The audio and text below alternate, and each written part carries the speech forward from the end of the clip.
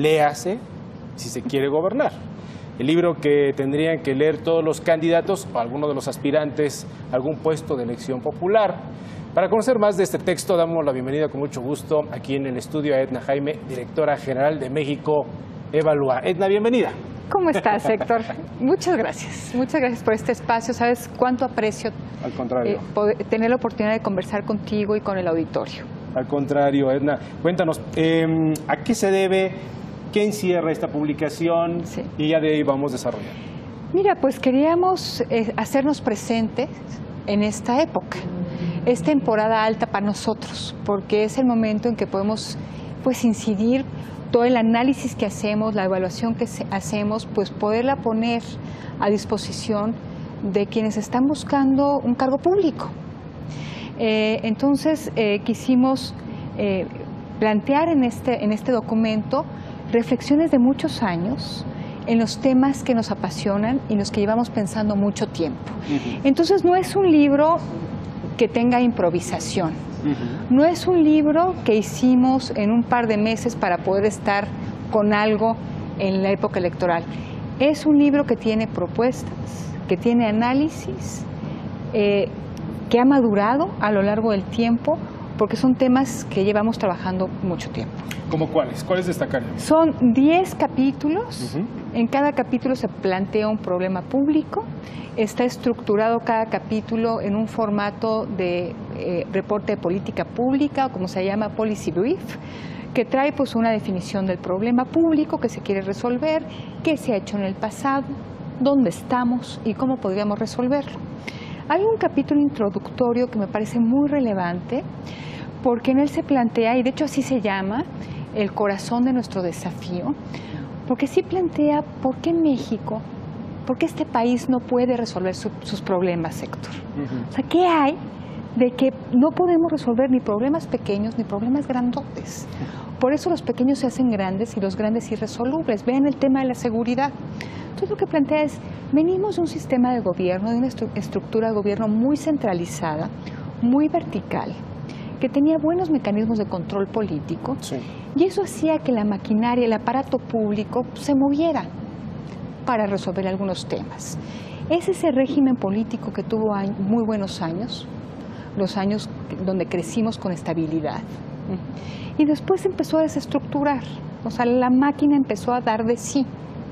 Viene la transición o, o la alternancia de partidos en el, en el, eh, en el Poder Ejecutivo Federal y esta máquina acaba tras- eh, dislocándose. Entonces tuvimos fragmentación del poder, una descentralización eh, pues un poco accidentada y lo que nos quedó fue un aparato desmembrado que no resuelve nuestros problemas. Entonces, todas las propuestas vertidas en este libro sí parten de la premisa de que tenemos que arreglar este aparato. Tenemos que tener tres órdenes de gobierno que se coordinen Sí. responsabilidades claras, facultades también bien definidas, algo que una columna vertebral que pueda tejer lo que se nos descogió, de- perdón. Entonces, ese es nuestro problema profundo, cómo arreglamos, cómo hacemos una descentralización, acabamos de descentralizar pero de una manera bien hecha. Si logramos eso, la mayoría de nuestros problemas se resolverían. El resto de los capítulos, pues, tenemos dos capítulos sobre seguridad, Sí. otros capítulos sobre justicia, abordamos el tema del presupuesto, tú sabes que es una de las obsesiones de México Evalúa y tenemos un equipo que trabaja en este tema, Eh, abordamos el tema de la contratación pública, la corrupción, hablamos de competencia económica, concluimos hablando de un escenario, ¿qué pasaría si se cancela el TLC, el Tratado de Libre Comercio con América del Norte? Y lo concluimos. Yo creo que tiene buenas ideas, eh, lo presentamos porque queremos nutrir el debate. Como te decía, queremos estar presente, presentes en esta elección proponiendo ideas, Sí. no desde el lado de la descalificación, sino de la construcción propositiva. Y esperemos que los candidatos encuentren mérito en lo que estamos planteando. Son propuestas muy concretas, viables, aterrizadas, bien pensadas, que creo, Héctor, que eh, pues ojalá y, y pudieran hacer una diferencia. propuestas viables no son ocurrencias. Retomo lo que Sí. nos decías al principio, Sí. porque pareciera que en eh, distintos discursos, no voy a decir nombres, distintos discursos de distintos personajes que quieren ocupar no solamente la presidencia de la República, sino desde diputados, diputados independientes, Sí. senadores mismos que van por esa parte. Gobernadores. Gobernadores, ¿no? Eh, se les ocurre y dicen, y plantean, prometen sin ningún sustento, ¿no? Pareciera que se nos va a olvidar, pero cuando, si llegaran, cuando llegan a ocupar esa responsabilidad, o se quedan callados, no plantean absolutamente nada en tribuna, o al momento de gobernar, pues simplemente lo hacen de una manera desastrosa, porque no están preparados para esto, No, y las curvas de aprendizaje son, son terribles. son muy largas, Son largas. Vienen, re- vienen relevos completos de equipos, hay que, este, entonces, bueno, de, de hecho es uno de los temas del libro muy importante. Necesitamos fortalecer el servicio profesional de carrera en nuestro, en nuestro aparato importante. público, porque pues cada... Cada cambio de administración, pues es, son nuevos equipos, aprender de nuevo una curva de aprendizaje, quieren descubrir el hilo negro y así no vamos a avanzar, Héctor. Entonces, bueno, te dejo el libro, Sí.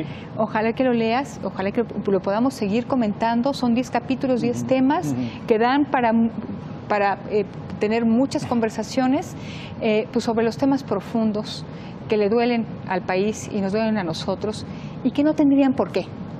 Así es. Se pueden solucionar. Yo no quiero gobernar, pero de todas maneras lo voy a leer Por favor, en este, en este punto para ir poniendo esa parte de la agenda ¿no? y con base a estos elementos, a estos textos, hacer cuestionamientos y obligar a esos personajes a acercarnos a esta realidad. Y a definirse respecto a estos temas y estas A propuestas. definirse, claro, claro, claro. Muy bien, Edna, muchísimas gracias. Gracias por estar con como nosotros. siempre, Héctor. ¿Eh? Muchas Bueno, gracias. antes que otra cosa, eh, se puede consultar por internet, está a la Triple- venta. www.mexicoevalúa.org se puede descargar su versión electrónica. Si alguien quisiera un ejemplar impreso, que se comunique a nuestras oficinas. Muy bien. Eh, con mucho gusto los- los- lo obsequiamos. Excelente, Edna, muchísimas gracias. Muchas gracias a ti.